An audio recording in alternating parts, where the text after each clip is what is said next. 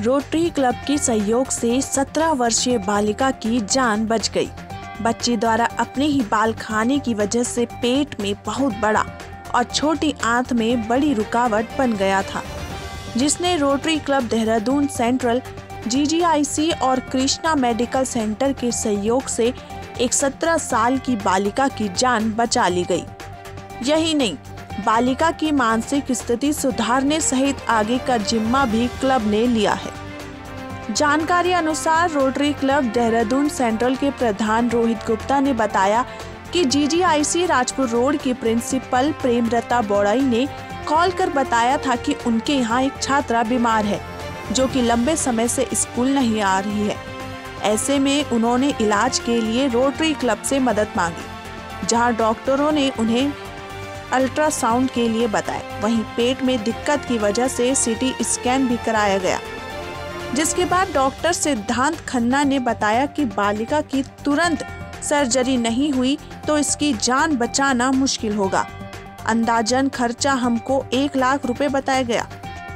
वहीं CT scan में patient के दो जगह पेट में बहुत बड़ा और छोटी आंत में जो रुकावट बनी हुई थी, उसके बाद कृष्णा को मेडिकल सेंटर में रेफर कर दिया गया।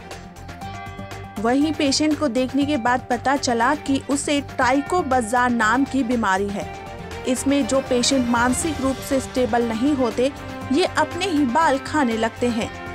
सिटी स्कैन में सामने आया कि पेशेंट के पेट में 12 बाई 6 सेंटीमीटर बालों का गुच्छा और आंतों में 8 बाई 4 सेंटीमीटर का गुच्छा फंसा हुआ था।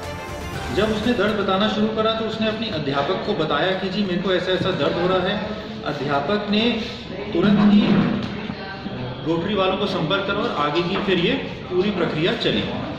जब बच्ची हमारे पास आई थी तो उसकी दिल की धड़कन बहुत ज़्यादा बढ़ी हुई थी। 160 170 दिल की धड़कन चल रही थी। तेज़ाब इन्फेक्शन के रूप में पूरे शरीर में फैला हुआ था। ऐसे में बच्ची को ऑपरेट करते समय भी बच्ची की ऑन टेबल जिसे डेथ ऑन टेबल कहा जाता है, वो होने के भी चांसेस थे। तो सर्जरी काफ़ी हाई रिस्क था, क्योंकि बच्ची की कंडीशन बहुत ज़्यादा डिटोरिएट कर चुकी थी। पर अगर नहीं करते तो फिर भी वो डेफिनेटली फिर पेशेंट हमारा हमारे साथ नहीं बच पाता। तो इसीलिए ये डिसीज़न लिया गया कि इसको आ, हम लोग शीघ्र अतिशीघ्र ऑपरेशन प्लान करें। इसकी वजह से पेशेंट का पेट फूल रहा था और इंजेक्शन पूरे शरीर में फैल रहा था। हालाँकि ऑपरेट करने के लिए बालिका की स्थिति सही नहीं थी और उसके दिल की धड़कन तेज थी। और ऑपरेशन करते हुए भी बालिका की जान को खतरा था। जब डॉक्टर ने बोला, अगर सर्जरी नहीं हुई तो बच्चे की जान चली जाएगी। ऐसे में हमारे जितने सीनियर मेंबर हैं, उनको ये बात गवार नहीं हुई कि हम पैसे के लेते, पैसे के चलते बच्चे को मरने के लिए छोड़ दें।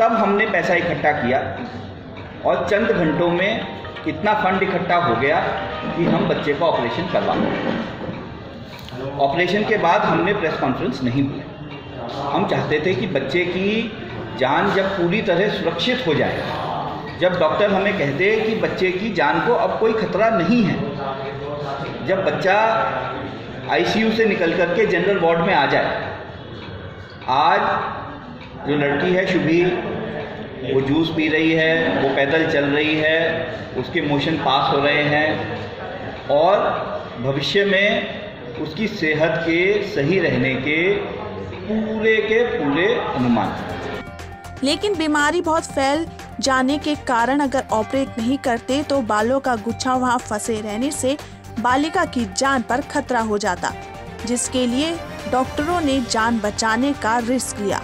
और ऑपरेशन के बाद बालिका को तीन से चार दिन आईसीयू में रखा। नतीजन बालिका की जान बच गई और अब वह स्टेबल है।